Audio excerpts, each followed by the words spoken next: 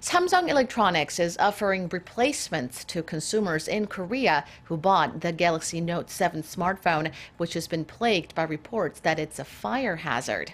Starting today, replacements will be provided at retail outlets of Korea's three main telecommunications companies, SK, LG, U+, and KT. Consumers are advised to check with their service provider before bringing in their phones, as the replacements will follow a strict schedule based based on the date the devices were activated.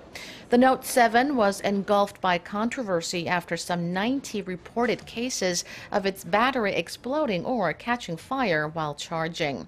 Samsung promptly stopped sales of the Note 7 on September 2nd, and in the U.S., the consumer safety authorities issued a formal recall on September 15th.